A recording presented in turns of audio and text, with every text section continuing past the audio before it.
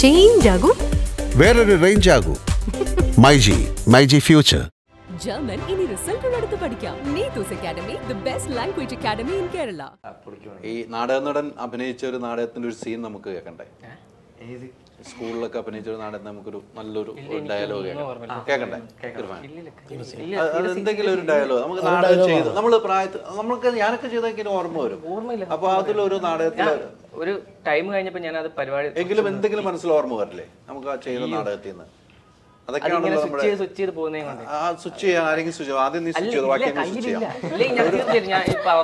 എനിക്ക് പറയാ- പറയാതിരിക്കേണ്ട ആവശ്യമില്ലല്ലോ. എന്തും പറയുന്ന എനിക്ക് ഇത് പറയാണ്ടിരിക്കേണ്ട ആവശ്യമില്ലല്ലോ. ഈ കോഴിക്കോട് കേന്ദ്രീകരിച്ചുള്ള ഒരു താരങ്ങളുടെ ഒരു വരവ്. കോഴിക്കോട് നിന്ന് ഒത്തിരി താരങ്ങൾ വരുന്നുണ്ടല്ലേ?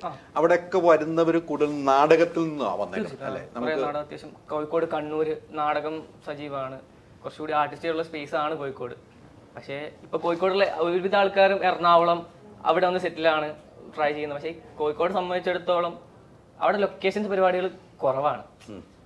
ഞങ്ങളുടെ നാട്ടിൽ ഇപ്പോൾ ഒരു സിനിമ വന്നു കഴിഞ്ഞാൽ എല്ലാവർക്കും ഭയങ്കര ഇൻട്രസ്റ്റ് ആയിരിക്കും. ഇപ്പോൾ ഇവിടെ നിന്ന് ഒരു സിനിമ ഷൂട്ട് ചെയ്ത് കഴിഞ്ഞാൽ ആരെയും കണ്ടാലും അവിടെ വന്ന് നോക്കാനൊന്നും പോകുന്നില്ല. ജസ്റ്റ് അത് കണ്ടു കഴിഞ്ഞ് പോകും പക്ഷെ ഞങ്ങളുടെ നാട്ടിൽ അങ്ങനെയല്ല. സിനിമ ഷൂട്ടിംഗ് ഉണ്ടെങ്കിൽ തെങ്ങിന്റെ മണ്ടലിൽ ഒരാളുണ്ടാവും കാണാൻ വേണ്ടിയിട്ട്.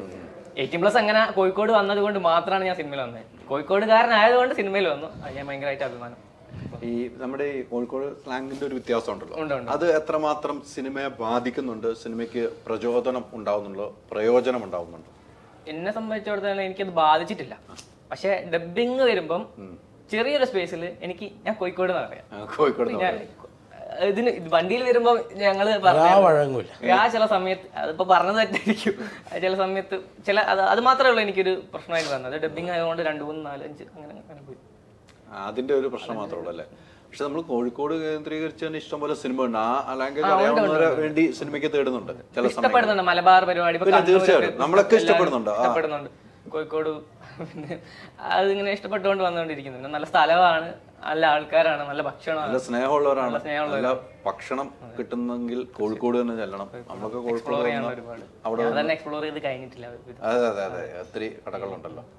ഈ പറഞ്ഞതുപോലെ നേരത്തെ ഈ സിനിമയ്ക്കുള്ള മോഹമായിട്ട് യാത്ര ചെയ്യും തോറും വീട്ടിൽ നിന്നുള്ള സപ്പോർട്ട് ഫുൾ ഉണ്ടായിരുന്നോ.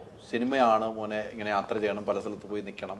ഒരു പോയിന്റ് വരെ നോർമൽ ആയിട്ടുള്ള സപ്പോർട്ട് പരിപാടികൾ മാത്രം അതായത് നമ്മൾ ഒക്കെ ഒക്കെ സപ്പോർട്ട് പരിപാടികളാണ്. പക്ഷെ ഒരു പോയിന്റ് കഴിഞ്ഞപ്പം ഇവർക്ക് മനസ്സിലായി. ഇവന് ഇവന് പഠിച്ച് ഇവനൊന്നും ആവാനൊന്നും പോകുന്നില്ല. ഏഹ് ഇവരെ ഉറപ്പിച്ച് വരും നൂറ് ശതമാനം ഉറപ്പിച്ച്. അതുകൊണ്ട് ഇപ്പൊ ആര് വന്ന് ചോദിച്ചാലും പ്രശ്നമില്ല. നിന്റെ മുമ്പ് തോറ്റല്ലോ അല്ല നിന്റെ മുമ്പ് മാർക്കില്ലല്ലോ എന്ന് പറഞ്ഞാലും അച്ഛനും അമ്മയ്ക്കൊന്നും പ്രശ്നം ഇല്ല. അത് പോയി. കേട്ട് കേട്ട് അത് പോയി. അച്ഛനും അമ്മയുടെ സപ്പോർട്ട് കൊണ്ടാണ് ഞാൻ അവിടെ നിൽക്കുന്നത് ഞാൻ വിശ്വസിക്കുന്നത് ഭയങ്കര ഭീകരമായിട്ട് സപ്പോർട്ടായിരുന്നു എനിക്ക് കിട്ടിക്കൊണ്ടിരുന്നത്. ഇവരെന്നെയാണോ എന്ന് എനിക്ക് സംശയം വന്നു കാരണം ഒരു പോയിന്റ് പഠിക്കുക എനിക്ക് നല്ല അടി കിട്ടിയിട്ടുണ്ട്. പഠിക്കാത്തതിന്റെ പേരിൽ കാരണം അത്രയും മോശം സ്റ്റുഡന്റ് ആയിരുന്നു അത് പഠിക്കാത്തതിന്റെ പേരിൽ എനിക്ക് അങ്ങനെ തന്നെയാണ് പ്ലസ് ടു ആണെങ്കിൽ കൂടുതൽ ഞാൻ പ്രാവശ്യം തോറ്റ് പിന്നെ പിന്നെ സേ എഴുതി എടുത്തതാണ് ആ അങ്ങനെ എഴുതി എടുത്തത് പക്ഷെ ഈ തോറ്റ സമയം എനിക്ക് ഓർമ്മയുണ്ട്. ഇവ സെറ്റിൽ ഞങ്ങൾ ഇത് ക്ലൈം ലാസ്റ്റ് ഡേ ഓഫ് ഷൂട്ടാ എനിക്ക് നോക്കണമെന്നുണ്ട്. ഇവിടെ വേറെ ഒരാൾക്ക് റിസൾട്ട് ഉണ്ടായിരുന്നു പത്താം ക്ലാസ് അന്ന് കരച്ചിൽ. കരച്ചിൽ. ഭയങ്കര കരച്ചിൽ. കയ്യിൽ നിന്ന് പോയായിരുന്നു പത്താം ക്ലാസ് പേടി അവക്ക്. അല്ല അത് വന്നില്ല. വന്നില്ല, ഉള്ള തുടങ്ങി. അപ്പം ഭയങ്കര കരച്ചിലായിരുന്നു. ഞാൻ കരച്ചിലായിരുന്നു. പക്ഷെ അവനാണെങ്കിൽ ഭയങ്കര കൂൾ മെൻ നീ കരയാതിരിക്കും കരയാതിരിക്കുന്ന രീതിയിൽ ഞാൻ എന്തായാലും നോക്കുന്നു കരയാതിരിക്കുന്നതായിരിക്കും. അല്ല ഒരു എനിക്ക് ഏകദേശം ഉറപ്പായിരുന്നു. ര- അവന് രണ്ട് സബ്ജക്ട് പോയി. എന്നിട്ടും അവന് ഒരു പ്രശ്നമില്ല ഒരു പ്രശ്നമില്ല ഭയങ്കര നമ്മൾ പ്രതീക്ഷിക്കാണ്ട് എന്തെങ്കിലും വരുമ്പോഴാണല്ലോ നമുക്ക് പിന്നെ. പ്രശ്നം പറ്റുമോ ഇത് പ്രതീക്ഷിച്ചോടെ കാത്തിരിക്കുന്ന ഒരാൾക്ക് നമ്മൾ രണ്ടോ പോയോളൂ ഓർത്ത് നമ്മളിരിക്കണല്ലേ അതെ അത് വെച്ചാൽ സത്യം പറഞ്ഞ അവരുടെ ട്വിസ്റ്റ് ഉണ്ട്. ഞാനിത് പ്രതീക്ഷിച്ചിരിക്കുക പൊട്ടെന്നുള്ള കാര്യം. എന്റെ റിസൾട്ട് നോക്കിയത് ഞാനല്ല. അസിസ്റ്റന്റ് ഡയറക്ടർ ഷോണേട്ടനും പിന്നെ ഒരാളും കൂടിയാണ് നോക്കിയത്. അങ്ങനെ യോഗേഷ് ഏട്ടൻ. അങ്ങനെ നോക്കിയ സമയത്ത് ലാസ്റ്റ് ഷോട്ടാ ഇത് കഴിഞ്ഞിട്ട് വേണം റൂമിൽ പോയി മാറ്റി. ചെറിയൊരു പാർട്ടി പരിപാടി ഉണ്ട് ഒക്കെ അതിന്റെ ഒരു സന്തോഷം പരിപാടികളുണ്ട്. അങ്ങനെ വേഗം ടൈറ്റ് ആയിട്ട് എടുത്തോണ്ടിരിക്കുക അപ്പൊ എനിക്കാണ് നോക്കാൻ അവർ സമ്മതിക്കുന്നില്ല. അങ്ങനെ നോക്കാൻ വേണ്ടി ഞാൻ പോയ സമയത്ത് അവരെ നോക്കിക്കൊണ്ടിരിക്കുക അവരാണെങ്കിൽ എന്നെക്കാട്ടും വലിയ ഇൻട്രസ്റ്റ് അവർക്ക്. എന്റെ റിസൾട്ട് അറിയാൻ വേണ്ടിട്ട്. ഇവർക്കാണ് അതിലും വലിയ ഇൻട്രസ്റ്റ് എന്റെ റിസൾട്ട് അറിയാൻ വേണ്ടി. ഇവരിങ്ങനെ നോക്കിക്കൊണ്ടിരിക്കുക നോക്കി നോക്കി നോക്കി. ഈ പ്ലസ് ടു റിസൾട്ട് കുറെ കള്ളികൾ ഉണ്ടാവല്ലോ. കഴിഞ്ഞ വർഷത്തത് മറ്റേതിന്റെ ഗ്രേസ് മാർക്ക് മറ്റേ കലോത്സവം അങ്ങനെ മാർക്ക് എല്ലാ പരിപാടിയും ഉണ്ടാവല്ലോ. ഇവരെവിടെയോ നോക്കി കഴിഞ്ഞിട്ട് പറഞ്ഞാ നീ പാസ്സായടാ എന്റെ കിളി പോയി. അതെനിക്ക് ഒരു അപ്രതീക്ഷിതമായിട്ടുള്ള സംഭവം. ഞാൻ പാസ്സായല്ലേ? പിന്നെ ഫോൺ ഓഫായി ആക്ച്വലി എന്തോ രണ്ട് ശതമാനമേ ഉള്ളൂ. കാരണം റൂം പോയി തിരിച്ചു വരണല്ലോ അപ്പൊ സ്വിച്ച് ഓഫ് ചെയ്ത്. വണ്ടിയിൽ ഇങ്ങനെ പോയിക്കൊണ്ടിരുന്നപ്പം എനിക്ക് സംശയം. ഞാൻ ജയിച്ചോ? എനിക്കൊരു ഡൗട്ട് പോലെ.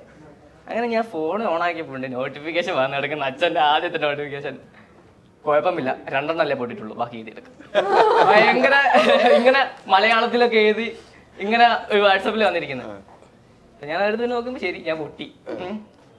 പിന്നെ ഞാനത് പോയി തിരിച്ചു വന്നപ്പോ എന്നെ എല്ലാരും എന്നോട് പറഞ്ഞു ഇതെടുക്കട ഇതെടുക്കട ഇതെടുക്കട ഇതെടുക്കട അതെനിക്ക് ഭയങ്കര അത്യാവശ്യം പ്രഷറായി അല്ലെങ്കിൽ എഴുതൂലായിരുന്നു അറിയില്ല അതൊന്നും പറയാനാവില്ല. പിന്നെ ഞാൻ കഷ്ടപ്പെട്ട് കോപ്പി അടിച്ച് പാസ്സായി?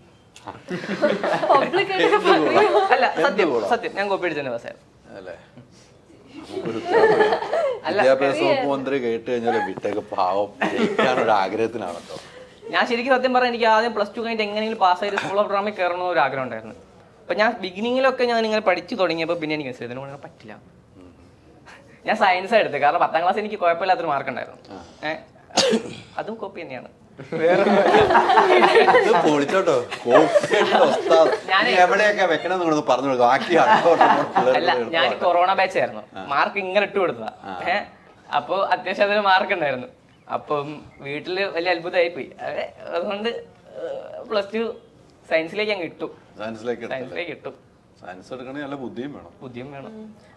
പക്ഷെ സയൻസ് എടുത്ത് പക്ഷെ കൊമേഴ്സിന് ബുദ്ധി അല്ല സയൻസ് എടുത്തു ബുദ്ധി വേണം? ശരിയാ. ഇർഫാൻ കാണിച്ചു ഇല്ലാന്ന്.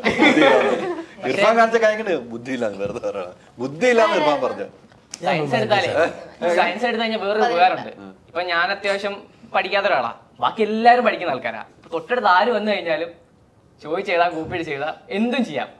പക്ഷെ ഞാൻ ഈ പൊട്ടി വിഷയത്തിൽ എന്നെ മാതിരി അവന്റെ. അവിടെ അതെ വന്നല്ലേ? റോൾ നമ്പർ അനുസരിച്ച് ഇങ്ങനെ മാറുമല്ലോ. ഹാളൊന്നും മാറുമല്ലോ. അവിടെ മാത്രം പാളിപ്പോയി.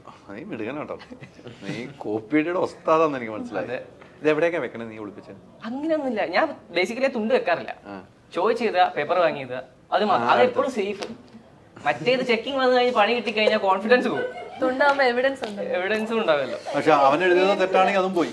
അത് ശരിയാ. അല്ല ഞാൻ ഇത് എഴുതി കൊണ്ടുപോയി അത് നോക്കി വായിക്കാൻ പറ്റുമെങ്കിൽ എനിക്കത് പഠിച്ചാൽ പോരെ. മറ്റവന്റെ മേടിച്ചങ്ങ് എഴുതുവാണ്. അതെ. കഴിഞ്ഞ തവണ പറ്റിയത് മറ്റവനെ പൊട്ടത്തെട്ടെടുത്ത് എഴുതി വെച്ചു അത് നീ എഴുതി വെച്ചു. അതെ. അവന് പിന്നെ തോറ്റു. ഈ പടത്തിലേക്ക് വന്ന റിലേറ്റബിൾ ആയ കാര്യം ചോദിച്ചില്ലായിരുന്നു? എനിക്ക് റിലേറ്റബിൾ ചെയ്യാം അവന്റെ ക്യാരക്ടർ കാരണം എന്റെ ഫ്രണ്ട് ഞങ്ങൾ കട്ട ഫ്രണ്ട്സ് ആണ് ഇതിൽ എനിക്ക് അതുപോലെ തന്നെ ഫ്രണ്ട് എന്റെ ഒപ്പരമുണ്ട് പണി വരുമ്പം എനിക്ക് മാത്രമായിരിക്കും. ഇതുപോലെ തന്നെ എന്റെ ഒപ്പമുള്ള ഫ്രണ്ട് മാർക്ക് വന്ന വന്നപ്പോൾ തൊണ്ണൂറ്റി രണ്ട് പെർസെന്റേജ് ആണ്. തൊണ്ണൂറ്റി രണ്ട് പെർസെന്റേജ് ഞാൻ പറഞ്ഞില്ല സയൻസിന്റെതാ തൊണ്ണൂറ്റിരണ്ട് പെർസെന്റേജ് ഞാൻ പൊട്ടി. അതുപോലെ തന്നെ എന്തെങ്കിലും പ്രശ്നം അതെ വാങ്ങി നോക്കുന്ന പ്രശ്നമാണെങ്കിൽ കൂടെ എനിക്ക് അടി കിട്ടും. അവൻ സേഫ് ആയിട്ട് അതും ഭയങ്കര എനിക്ക് ഭയങ്കര കണക്ട് ആയിരുന്നു. പിന്നെ സ്കൂൾ റൊമാൻസ് ആണെങ്കിൽ കൂടുതൽ കണക്ട് ആയിരുന്നു. കണക്ട് ചെയ്യപ്പോ അവിടെയും വായി നോക്കി അടി കിട്ടിയിട്ടുണ്ടോ നാട്ടിൽ? അല്ല സ്കൂൾ ചോദിക്കട്ടെ ചോദിക്കട്ടെ? അവനോട് ചോദിക്കട്ടെ. അവനോട് ചോദിക്കട്ടെ? അയ്യോ എനിക്കിതിനൊന്നും സമയമില്ല. ഞാൻ മിമിക്രി പരിപാടി എനിക്ക്. എനിക്ക് അതിനോട് താല്പര്യം.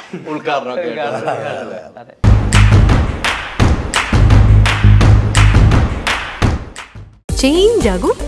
വേറൊരു റേഞ്ച് ആകൂ. മൈജി മൈജി ഫ്യൂച്ചർ. ജർമ്മൻ ഇനി റിസൾട്ടുകൾ എടുത്ത് പഠിക്കാം. Neethu's academy the best language academy in Kerala